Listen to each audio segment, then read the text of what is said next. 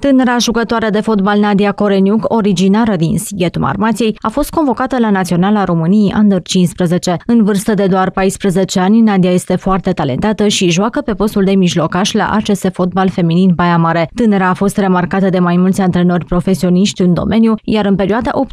8-11 februarie a făcut pasul cel mare, participând la convocarea de la Centrul Național de Fotbal de la Buftea, acolo unde a avut loc acțiunea de selecție a Naționalei României Under 15. De remarcat însă că tânăra jucătoare și-a început activitatea la clubul AFC Viitorul Sighet în urmă cu șapte ani, timp în care a evoluat la mixt. Potrivit reprezentanților clubului sighetian, convocarea acesteia la notul național nu s-a putut face decât dacă ar fi fost legitimată la un club exclusiv de fotbal feminin, astfel că în urmă cu câteva săptămâni, jucătoarea a fost transferată la clubul fotbal feminin Baia Mare, tocmai pentru a putea fi convocată la lotul național Under 15. Reprezentanții clubului AFC Viitorul Sighet mai spun că Nadia a fost anul trecut în probe la clubul Concordia Chiajna, unde i s-a propus să rămână și unde de altfel a și fost remarcată la acea vreme de selecționarea Under 15 a Naționalei de Fotbal.